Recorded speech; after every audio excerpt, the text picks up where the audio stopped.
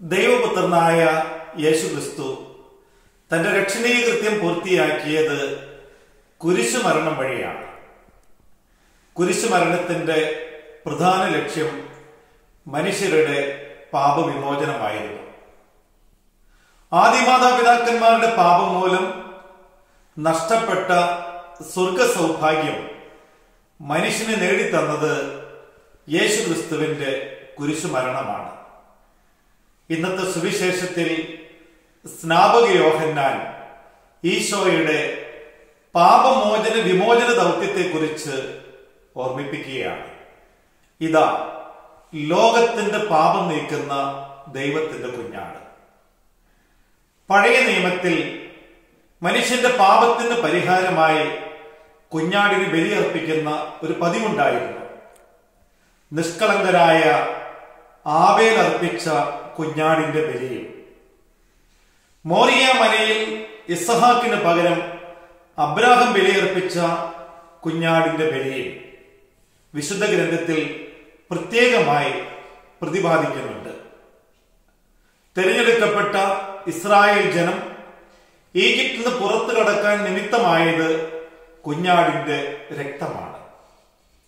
ജെറുസലം ദേവാലയത്തിൽ ആണ്ടുതോറും പെസഹ തിരുനാൾ വന്നിരുന്ന യഹൂദർ പാപപരിഹാരാർത്ഥം കുഞ്ഞാടിനെ ബലിയർപ്പിക്കുമായിരുന്നു.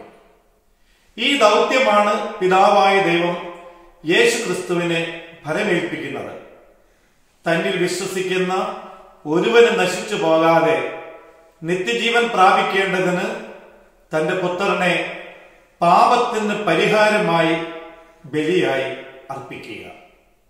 ആഗ്രഹിക്കുന്ന നന്മയ്ക്ക് പകരം ആഗ്രഹിക്കാത്ത തിന്മ പ്രവർത്തിക്കുന്ന മനുഷ്യന്റെ പാപപ്രകൃതിക്കുള്ള ദൈവത്തിന്റെ സമ്മാനമാണ് യേശു ക്രിസ്തു കൊറിന്തോസിലെ സഭയ്ക്ക് പൗലോസ്ലിഹ എഴുതിയിരിക്കുന്ന രണ്ടാമത്തെ ലേഖനം അഞ്ചാമത്തെ അധ്യായം ഇരുപത്തിയൊന്നാമത്തെ തിരുവചനം.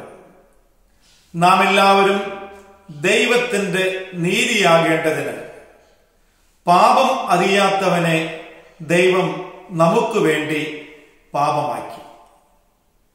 യേശു ക്രിസ്തുവിൽ വിശ്വസിക്കുന്നവർക്ക് ഇന്ന് ലഭ്യമാകുന്നത് പാപമോചനമാണ്.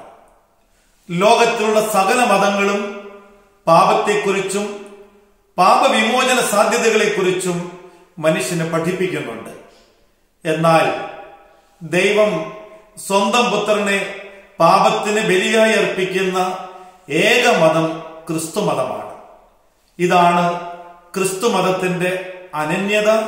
ഇതാണ് ക്രിസ്തീയതയുടെ വ്യതിരക്തത. പ്രിയപ്പെട്ടവരെ ഇന്ന് യേശു ക്രിസ്തുവിൽ വിശ്വസിക്കുന്ന സകലർക്കും പാപമോചനം സൗജന്യമാണ്. അനുതാപമുള്ള ഹൃദയത്തോടെ ദൈവത്തിൽ വിശ്വസിച്ച് പാപസങ്കീർത്തന വേദിയിലെത്തി പാപങ്ങൾ ഏറ്റുപറഞ്ഞാൽ സഭ നൽകുന്നത് പാപവിമോചനമാണ്. യോഹന്നാന്റെ ഒന്നാമത്തെ ലേഖനം ഒന്നാമത്തെ അധ്യായം ഒൻപതാമത്തെ തിരുവചനം. നാം പാപങ്ങൾ ഏറ്റുപറയുന്നെങ്കിൽ അവൻ വിശ്വസ്തനാകയാൽ എല്ലാ പാപങ്ങളും ക്ഷമിക്കുകയും നമ്മെ വിശുദ്ധീകരിക്കുകയും ചെയ്യും. കുംഭസാരം എന്ന കൂതാശയെ തള്ളിപ്പറയുന്നവരും ആത്മാർത്ഥതയില്ലാതെ കുംഭസാരിക്കുന്നവരും ആവശ്യമില്ലാതെ കുംഭസാരത്തെ നീട്ടിക്കൊണ്ടുപോകുന്നവരും യേശു ക്രിസ്തുവിൽ വിശ്വസിക്കാത്തവരാണ്. ദൈവം യേശു ക്രിസ്തുവിലൂടെ സാധ്യമാക്കിയ പാപമോചനം സ്വന്തമാക്കി. സന്തോഷത്തോടും സമാധാനത്തോടും കൂടെ ജീവിക്കാൻ നമുക്ക് കഴിയട്ടെ. അതിനുള്ള അനുഗ്രഹത്തിന് വേണ്ടി പ്രാർത്ഥിക്കാം. ദൈവം നമ്മെ അനുഗ്രഹിക്കട്ടെ. ആമേ